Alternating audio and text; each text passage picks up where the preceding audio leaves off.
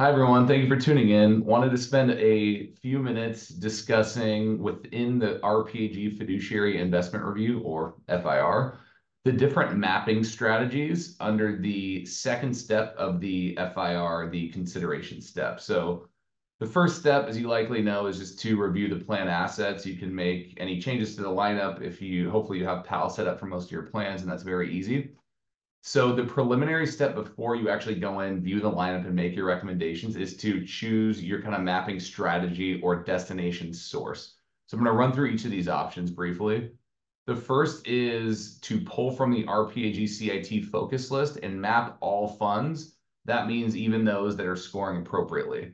Um, by the way, if you scroll or hover over the question mark, it'll give you some additional details on what you, each of these mean, removing the need for this video. But anyway, um, so the time you might want to do this is if you're starting kind of revamping the lineup, you're changing providers. Let's say you just want a plan, you're going to be making a lot of changes, and you're looking for some further guidance as far as what funds uh, you might be using and uh, what RPAG's perspectives and quote unquote recommendations are. Feel free to reach out if you're not familiar with what that focus list is, but to give a brief bit of background, RPAG goes through an extensive uh, search process within every asset class in the end to narrow the field from, say, 4,000 funds available in the large cap growth category down to a focus list of five funds that, in our eyes, are the best in terms of performance, score, quality, our qualitative perspective, such as an interview with that manager, et cetera.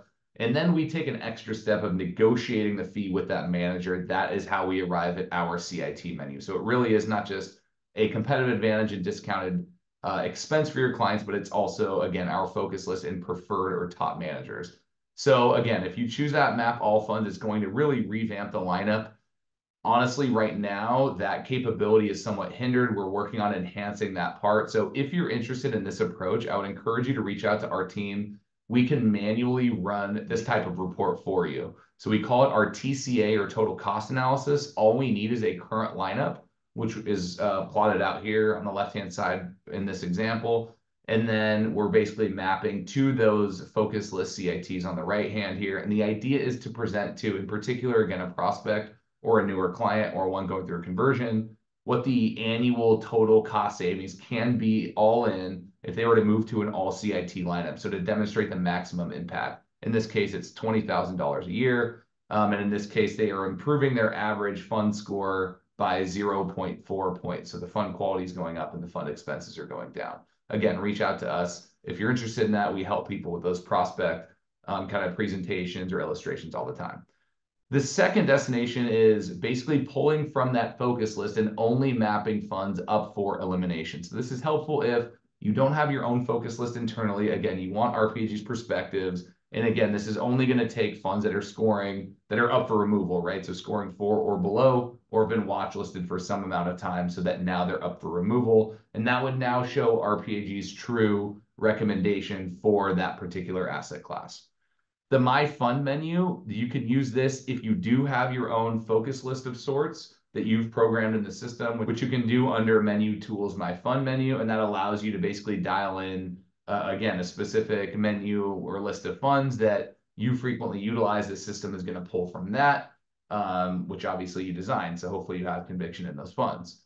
The one that was the default historically, um, that I think a lot of people still kind of default to, is provider product, meaning this is going to pull from that record keeper that you've selected as the investment source. So in this case, this is a bad example, but we did use, or the uh, we selected open architecture. Let's say that was Empower Select.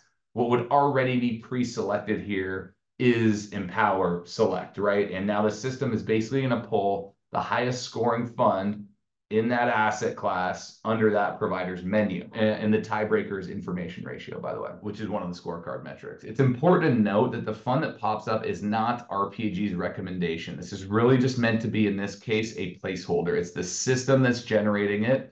There are cases, and this worked out in this case of this current fund being up for removal that one of the funds on that RPAG CIT focus list, the Large Growth 2 CIT with JP Morgan, is one of the funds on our focus list. So it did work out that way.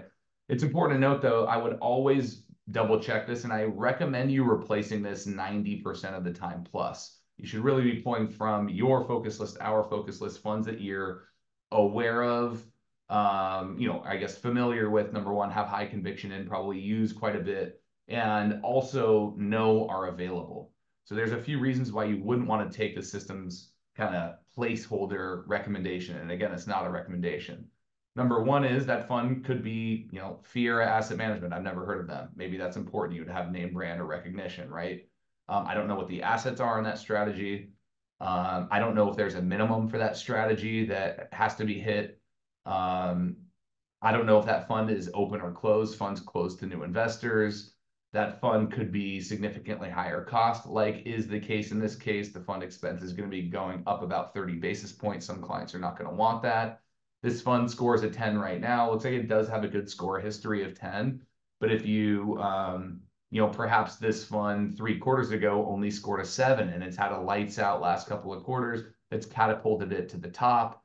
Um, so there's not great consistency. There's a bunch of things that I don't want to say could go wrong, but that give you reason to at least do due diligence on that fund. And again, more often than not, pull from funds that you're familiar with, already using, have the highest conviction in. And if you do want extra guidance, again, pull from that RPAG CIT focus list.